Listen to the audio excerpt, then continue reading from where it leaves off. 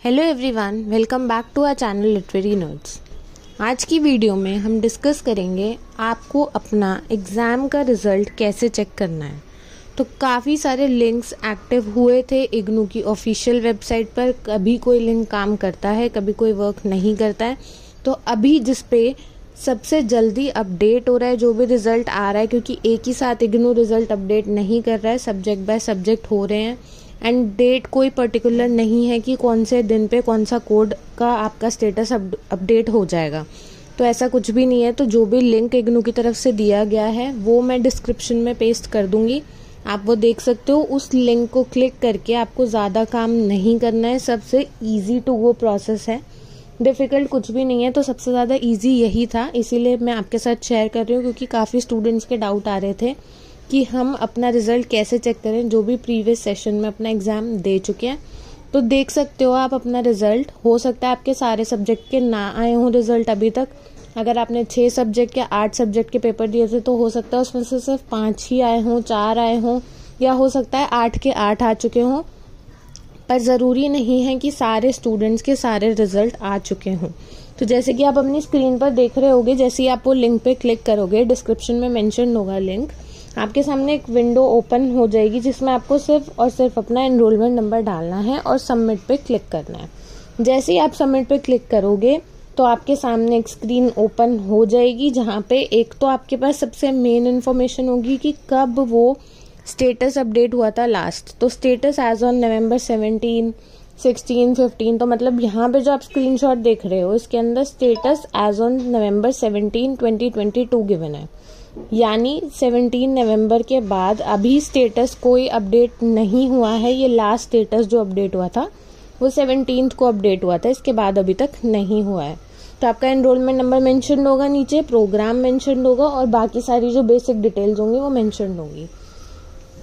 तो आप यहाँ पे देखोगे कि कोर्स कोड्स गिवन होंगे, जिनके रिजल्ट्स आ चुके होंगे, सिर्फ़ यहाँ पे वही दिखेगा। मैक्सिमम मार्क्स होंगे कि कितने मार्क्स का पेपर था। एंड उसके बाद आपका मार्क्स और ग्रेड जितने भी आपके आए हैं, वो गिवन होगा। Date of updation on website तो जैसे मैंने आपको बताया कि सारे कोड्स के इग्नू एक साथ अपडेट नहीं करेगा।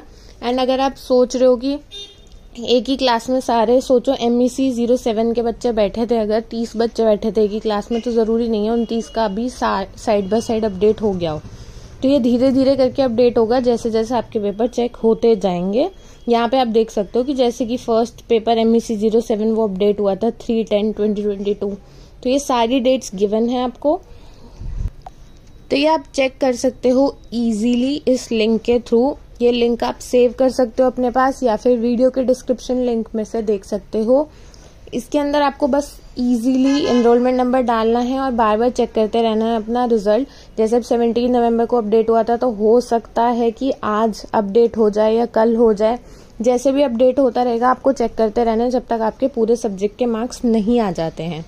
तो ये इजी प्रोसेस है, सबसे ज़्यादा एंड ये सबसे ज़्यादा ऑथेंटिक भी एंड सबसे पहले इसी लिंक पे अपडेट होता है। अगर आपके पास कोई और लिंक सेव्ड है तो उसके अंदर धीरे धीरे अपडेट होगा तो इसको अपडेट कर लीजिए अपने पास एंड इस लिंक के थ्रू ही चेक कीजिए अपना, जो भी आपके एग्जामिनेशन का स्टेटस है। एंड यस अगर आपने अभी तक असाइनमेंट्स नहीं बनवाए हैं तो डेट आने वाली है thirty thirty November last date है तो आप जल्दी से जल्दी असाइनमेंट्स बनवा लीजिए। एग्जामिनेशन डेट शीट आ चुकी है टेंटेटिव भी। तो आप उसमें देख सकते हो डेट शीट भी बिल्कुल एग्जामिनेशन पास है। तो अगर आपको गेस्ट पेपर्स परचेज करने हैं तो आप स्क्रीन पर दो नंबर्स फ्लैश हो रहे होंगे। उन पे व्हाट्सएप कर सकते हो असाइनमेंट्स के लिए गेस्ट पेपर्स के लिए। गेस्ट पेपर्स में सारे इंपॉर्टेंट क्वेश्चंस कवर्ड होते हैं, जो भी जिनके पास भी टाइम नहीं है पढ़ने का भी। एंड लास्ट मोमेंट तैयारी कर रहे हैं तो गेस्ट पेपर्स उनके लिए बेस्ट है, क्योंकि उसमें से काफ़ी क्वेश्चन रिपीटेड आते हैं।